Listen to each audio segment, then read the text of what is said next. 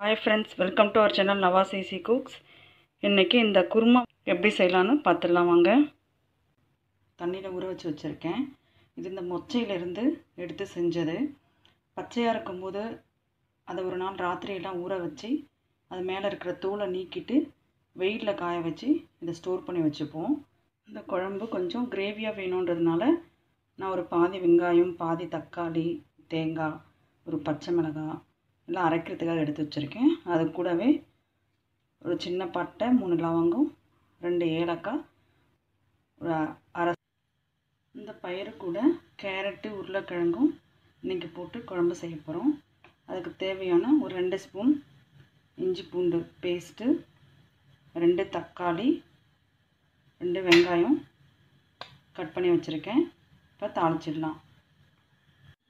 அரைக்கரண்டி அளவுக்கு எண்ணெய் ஊற்றிப்போம் கடுகு சேர்த்துக்கலாம்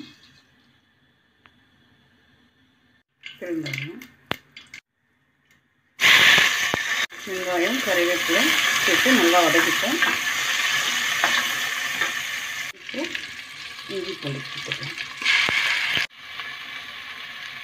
பச்சை வாசனை போகிற வரைக்கும் வதக்கிட்டு தக்காளியை சேர்த்துக்கலாம்.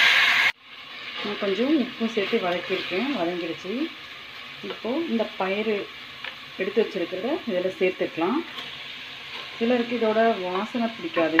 மஷ்ரூம் இருக்கிற அளவுக்கு காளானோட அந்த மாதிரி ஒரு மனம் வரும்.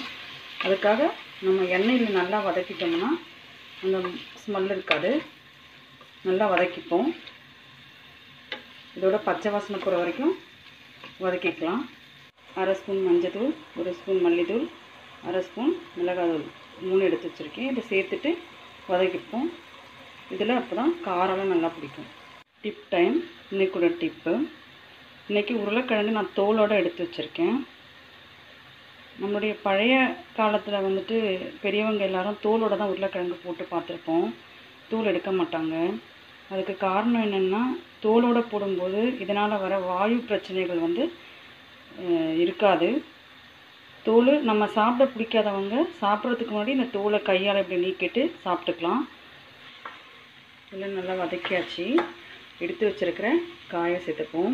கேரட்டு உருளைக்கிழங்கு நல்லா வதங்கிடுச்சு. அரைச்சி வச்சதை சேர்த்துக்கலாம். இதையும் ஒரு ரெண்டு நிமிஷம் வதக்கி விட்டுப்போம். வதக்கினதுக்கப்புறம் தேவையான அளவு தண்ணி ஊற்றி நம்ம விசில் விட்டுக்கலாம். இப்போது தண்ணியை ஊற்றிப்போம்